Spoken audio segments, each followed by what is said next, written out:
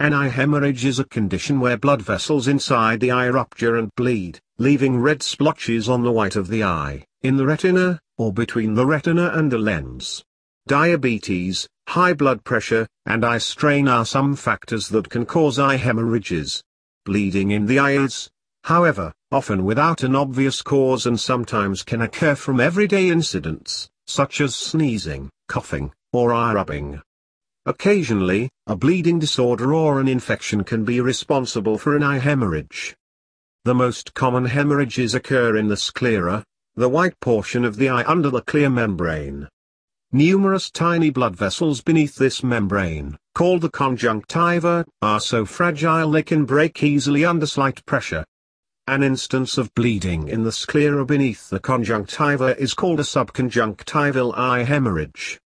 These hemorrhages are generally harmless and resolve themselves without treatment in a day or two. Bleeding in the eye that occurs between the lens and retina takes place in the part of the eye known as the vitreous chamber. This type of eye hemorrhage happens when blood vessels near the retina tear and leak blood into the clear, gel-like atmosphere of the chamber. Vitreous hemorrhages are considered minor. However, some people seek medical help to excise the blood or blood clot from the vitreous chamber if it does not dissipate on its own.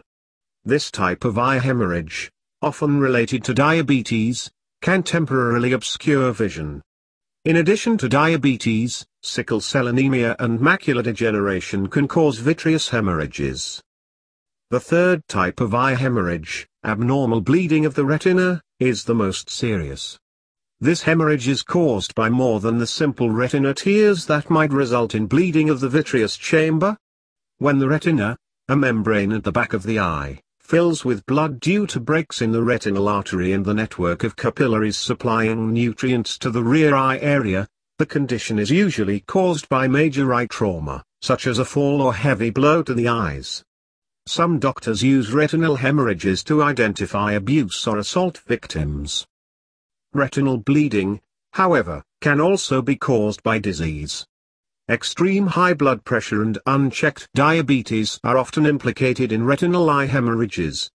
Such bleeding can result in blisters behind the retina, which can reduce or end vision since the retina transmits nerve signals to the brain for sight. Laser surgery can remove retinal blood clots and blisters. It often can restore any lost sight, but not always,